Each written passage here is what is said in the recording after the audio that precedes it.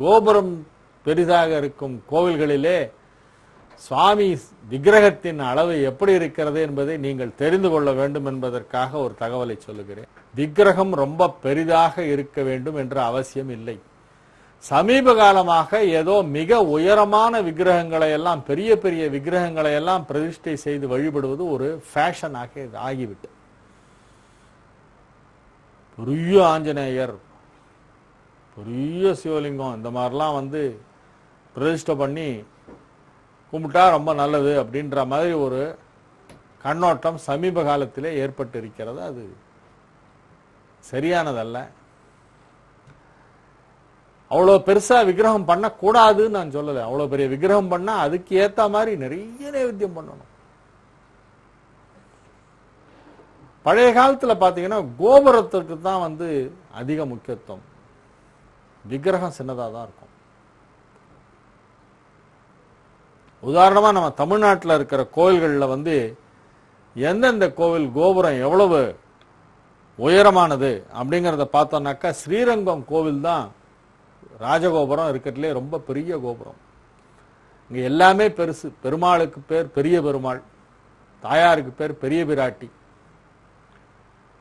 பெரிய கோவில் அப்படின்னாலே ஸ்ரீரங்கத்தை தான் குறிக்கும். கோவில் பரப்பளவிலும் ஸ்ரீரங்கம் தான் தமிழ்நாட்டிலேயே இந்தியாவிலேயே மிகப்பெரிய கோவில் ஸ்ரீரங்கம் கோவில். கோபுரமும் மிகப்பெரிய கோபுரம். இருநூத்தி முப்பத்தாறு அடி உயரமுள்ள ஒரு ராஜகோபுரம் ஸ்ரீரங்கத்தில் இருக்கிறது. அதுதான் இந்தியாவிலேயே மிக உயரமான கோபுரம். அதற்கு அடுத்தாற் போல திருவண்ணாமலை. இருநூத்தி பதினேழு அடி உயரமுள்ள கோபுரம் திருவண்ணாமலையில். அண்ணாமலையார் விக்கிரம் பார்த்தீங்கன்னா அவ்வளோ உயரம் தான் இருக்கும். இருநூத்தி பதினேழு அடி உயரமுள்ள கோபுரம். தஞ்சை பெரிய கோவில் பிரகதீஸ்வரர் கோவில் கோபுரம் இருநூத்தி பதினாறு அடி. தஞ்சை பெரிய கோவில் கோபுரம் ரொம்ப புகழ் பெற்றது. அந்த கோபுரத்துடைய நிழல் கீழே படாது. எப்படி எந்த பக்கம் வெயில் வந்தாலும். சூரியன் உதிச்சாலும் சரி மறைஞ்சாலும் சரி நிழல் கீழே விழாது. அப்படி ஒரு நுட்பமான கட்டடக்கலை வல்லுநர்கள்லாம் ராஜராஜ சோழன் காலத்தில் இருந்திருக்கிறார்கள். ஆவுடையார் கோவில் நாலாவதாக உயரமான கோபுரம். ஃபஸ்ட்டு ஸ்ரீரங்கம் அடுத்தது திருவண்ணாமலை. அதன் பிறகு தஞ்சை பெரிய கோவில் நாலாவதாக ஆவுடையார் கோவில் கோபுரம். ஒரு கோபுரம் இருநூறு அடி. தென்காசி நூத்தி எழுபத்தி எட்டு அடி உயரமுள்ள கோபுரம். தென்காசி. காசி விஸ்வநாதரங்க.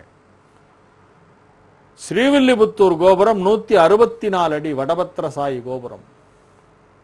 நூத்தி அறுபத்தி நாலு அடி. அந்த கோபுரம் தான் தமிழ்நாடு அரசின் சின்னமாக எம்ப்ளம் ஆஃப் தமிழ்நாடு கவர்மெண்ட். ஒரு கோபுரம் படம் ஒன்று போட்டிருக்கும். அரசு சின்னமாக விளங்குகிறதே அது ஸ்ரீவில்லிபுத்தூர் வடபத்ரசாயி கோவில் கோபுரம் அந்த கோபுரத்தின் உயரம் நூத்தி அறுபத்தி நாலு அடி. மதுரை மேற்கு கோபுரம் நூத்தி எழுபது பாயிண்ட் எயிட். நூத்தி எழுபத்தி ஒன்னுன்னு சொல்லலாம். மேற்கு கோபுரம் மதுரையில்.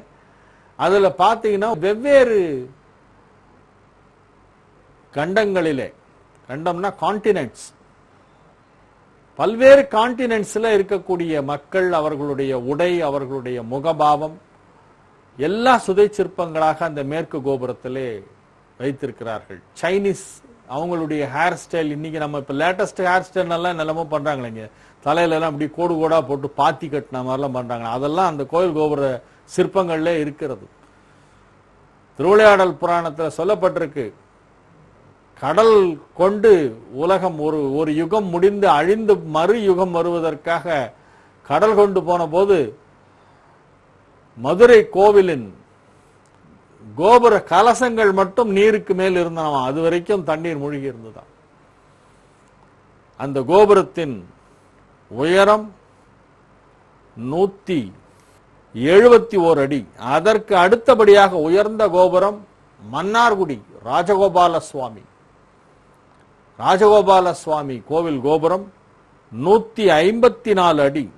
குடந்தை சக்கரபாணி பெருமாள் கோவில் கோபுரம் நூத்தி நாற்பத்தி ஏழு சிதம்பரம் வடக்கு கோபுரம் நூத்தி நாற்பது அதற்கு அடுத்தபடியாக சிதம்பரம் வருகிறது. பத்தாவது இடத்திலே சிதம்பரம். திருவானைக்கா நூத்தி முப்பத்தி ஐந்து அடி கீழ கோபுரம் கிழக்கு கோபுரம் திருவானைக்காவிலே நூத்தி முப்பத்தைந்து அடி. சுசீந்திரம் நூத்தி முப்பத்தி நாலு அடி கோபுரம். பழைய காலத்துல கோபுரத்துக்கு தான் இவ்வளவு முக்கியத்துவம் கொடுத்திருக்காங்க. எங்கேயாவது நூறு அடி விக்கிரகம் ஏதாவது பழைய கோவில்ல இருக்கா? கிடையாது. அதை சொல்றதுக்காகத்தான் இந்த இவ்வளவு விஷயத்தை சொல்றேன். கும்பகோணம் கும்பேஸ்வரர் கோவிலிலே நூத்தி இருபத்தெட்டு அடி உயரமுள்ள கோபுரம். கும்பேஸ்வரர் கோவில். ராமேஸ்வரம் கோவில் கிழக்கு கோபுரம் நூத்தி இருபத்தி ஆறு அடி. திருச்செந்தூர் கோபுரம் நூத்தி இருபத்தி ஏழு அடி. Tiruchendur one twenty seven Rameswaram one twenty six ரெண்டுத்துக்கும் ஒரு அடி தான் வித்தியாசம்.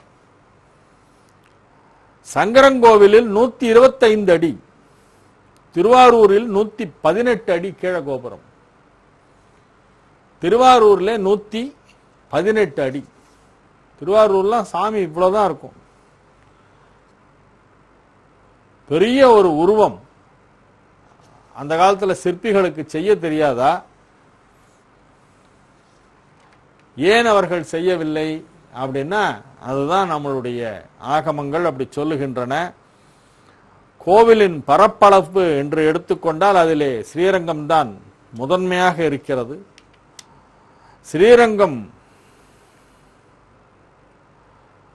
கோவில் பரப்பளவிலே அதிகமாக இருக்கின்ற ஒரு கோவில் நூத்தி ஐம்பத்தி ஐந்தரை ஏக்கர் பரப்பளவுள்ள ஒரு கோவில் அடுத்ததாக சிதம்பரம் திருவாரூர் இரண்டாவதாக முப்பது ஏக்கர் பரப்பளவு சிதம்பரம் பதினாறு ஏக்கர் பரப்பளவு திருவண்ணாமலை இருபத்தைந்து ஏக்கர் மதுரை பதினைந்து ஏக்கர் திருவெண்காடு பத்து ஏக்கர்.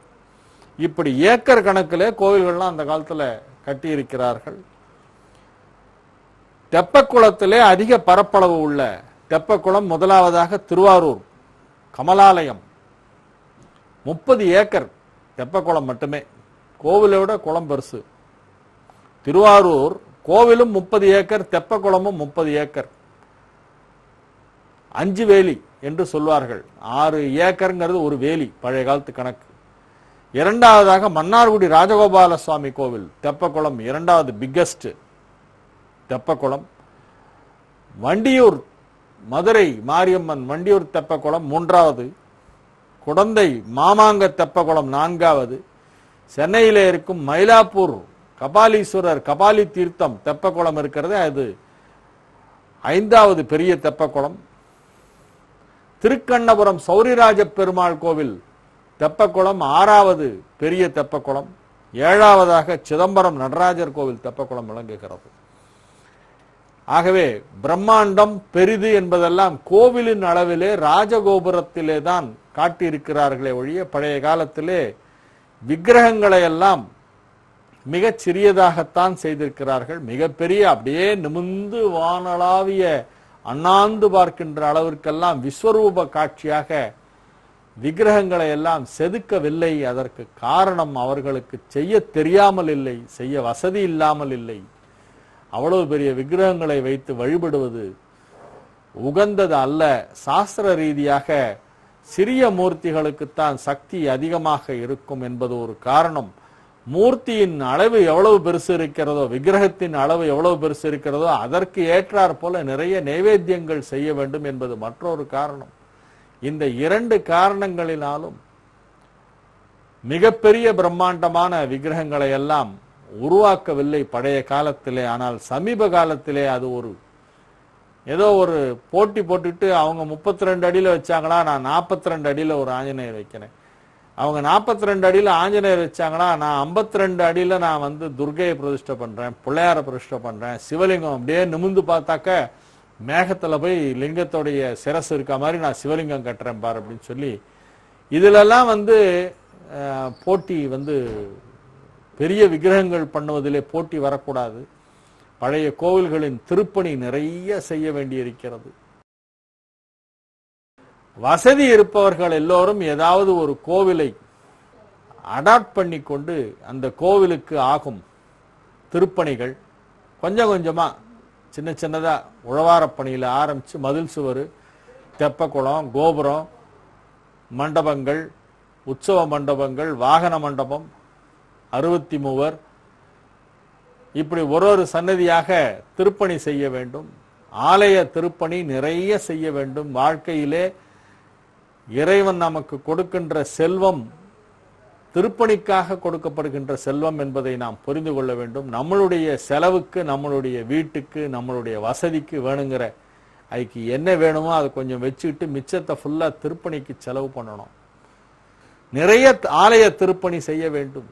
ஆங்காங்கே ஒரு கமிட்டி அங்காங்கே ஒரு குழு. உங்க ஃப்ரெண்ட்ஸ் யாரெல்லாம் வசதியா இருக்கிறாங்களோ எல்லாரையும் சேர்த்துங்க. பணம் கலெக்ட் பண்ணுங்க. ஒரு கார்பஸ் ஃபண்ட் மாதிரி கிரியேட் பண்ணுங்க. அதுல இருந்து எடுத்து கோவிலுக்கு விளக்கேத்துறதுக்கு எண்ணெய் கொடுங்க. திருப்பணிக்கெல்லாம் செலவு பண்ணுங்க. பழைய கோவில்கள் புராதன கோவில்கள்லாம் நிறைய இருக்கு. கவனிப்பார் இல்லாம ஒருவேளை பூஜைக்கு வழி இல்லாத கோயில்கள்லாம் இன்னமும் தமிழ்நாட்டில் இருக்கின்றன. அவற்றையெல்லாம் நாம் எடுத்து திருப்பணி செய்து கும்பாபிஷேகம் செய்து நித்தியப்படி பூஜைகள் எல்லாம் நடைபெற நம்மால் இயன்றவற்றையெல்லாம் செய்ய வேண்டும். புதுசா நான் எண்பது அடிக்கு பிள்ளையார் வைக்கிறேன் தொண்ணூறு அடிக்கு ஆஞ்சநேயர் வைக்கிறேன் எல்லாம் கிளம்பாதீங்க. அப்படின்னு சொல்லி ஒரு சின்ன அட்வைஸை கொடுத்துட்டு இந்த அட்வைஸை சொல்றதுக்கு எனக்கு தகுதி இருக்குங்கிறதையும் சொல்லிக்கிட்டு விடைபெறுகிறேன். நன்றி. மீண்டும் நாளை நிகழ்ச்சியில சந்திக்கும் வரை உங்களிடமிருந்து தற்காலிகமாக விடைபெற்றுக் கொள்வது உங்கள் வழிகாட்டி ஜோதிடர் ஹரிகேசநல்லூர் வெங்கட்ராமன். வணக்கம்.